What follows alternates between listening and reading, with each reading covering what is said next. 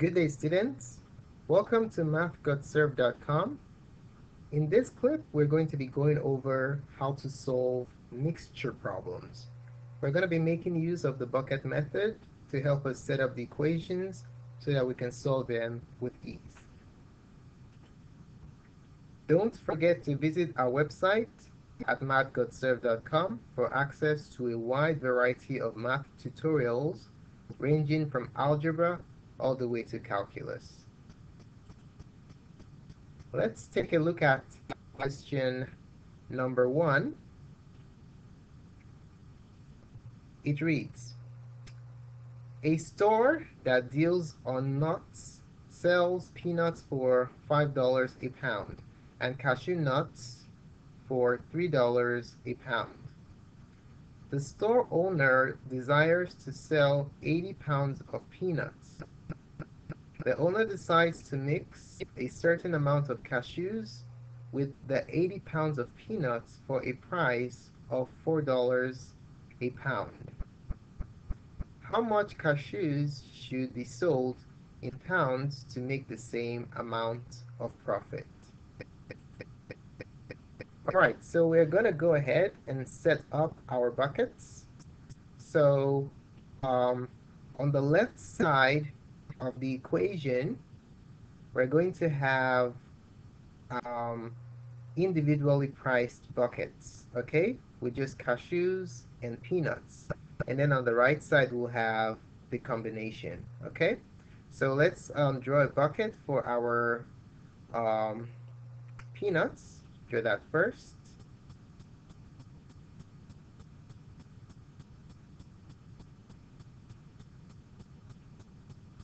And then we'll draw a bucket for our cashew nuts and then the combination.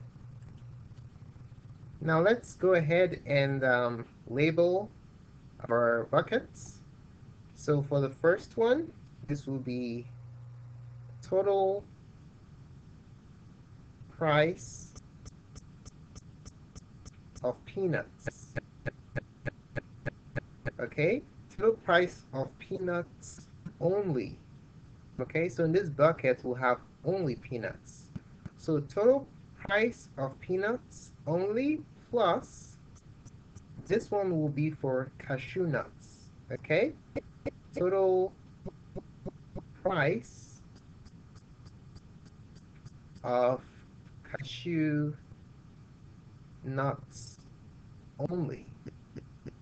Alright, so this is the total price if they were sold individually. Now the total price, if they were sold individually, should be equal to the total price of the peanut and cashew nut combination. Okay? So if you look at the problem, there is a situation where the owner of the store desires to sell a peanut and cashew combination for $4 a pound. Okay? Alright, so this is basically the setup. Now, how do we fill our individual buckets? The equation for calculating the total price is as follows. Total price is equal to unit price multiplied by quantity. All right. Now, um, we're going to populate our buckets using this formula. So each bucket will have unit price and quantity. Okay. So let's put the unit price up here, unit price and then a quantity down here. Quantity. All right. Now let's start with peanuts individually. Let's go back to the problem. What is the unit price of peanuts? The unit price of peanuts let's underline that in green is going to be five dollars so five dollars a pound for peanuts. So the unit price for peanuts is $5. Now, what is the quantity of peanuts that the owner desires to sell? He desires to sell 80 pounds. Okay? So let's put the quantity in blue. So he desires to sell 80 pounds of peanuts. Okay? So this is the total price of peanuts if sold alone. Now, how about cashew nuts? How, what is the unit price of cashew nuts? The unit price of cashew nuts is $3 a pound. Okay? Cashew nuts, $3 a pound, so $3 in the bucket for cashews. And then the quantity of cashew nuts is what? How many pounds of cashew nuts does the owner desire to sell? Um, that's what we're looking for. So let's call that X. Okay? Now, um, let's look at a combination, the peanuts and cashew nuts combination. Now, what is the price that the owner desires to sell the mix of cashew nuts and peanuts? He desires to sell it for $4 a pound. So we have $4 for the combination. Now, how many pounds is that going to be? We know that the owner desires to sell 80 pounds of peanuts and a certain amount of pounds of cashew nuts for the combined price of $4 a pound. So what is that going to be? It's simply going to be 80 for the cashew for the peanuts plus X for the cashew nuts. Okay? So now we can now set up an equation. Okay? So the total price of peanuts is the unit price times quantity. So it's going to be 5 times 80. That will give us the total price of peanuts. Total price of cashew nuts will be 3 times X. And then total price of peanuts and cashew nuts combination will be 4 times 80 plus X.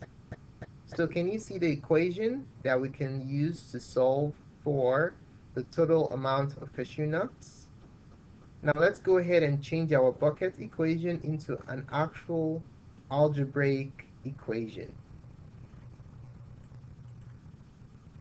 The algebraic equation we'll have is 5 times 80 plus 3 times x equals 4 times 80 plus x. Okay? Now 5 times 80 is the total price of peanuts only. 3 times x is the total price of cashew nuts only. And then 4 times the quantity 80 plus x is the total price of the combination of peanuts and cashew nuts.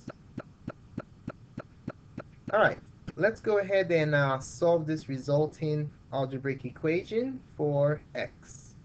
All right, so 5 times 80 is 400 plus 3x equals, now we'll distribute 4 to these two terms, unlike terms in the parentheses. That yields 320 plus 4x. Now let's isolate x. I can subtract 3x from both sides. Okay, so that yields 400 equals 320 plus x. Now we can subtract 320 from both sides. And our final result is x equals 80, 80. All right, so what does this answer mean? Let's go back to the problem. We're asked to find how much cashew nuts should be sold to make the same amount of profit. So let's write down what the answer means within the context of the problem. 80 pounds of cashew nuts nuts must be sold in order to make the same amount of profit.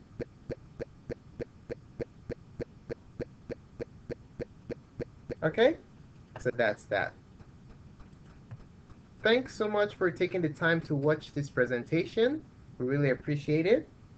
Feel free to subscribe to our channel for updates to other cool tutorials such as this. More clips can be found on mathgotserved.com. If you have any questions or would like to request any tutorials, feel free to include it in the comments section below this video. Uh, thanks again for watching and have a wonderful day.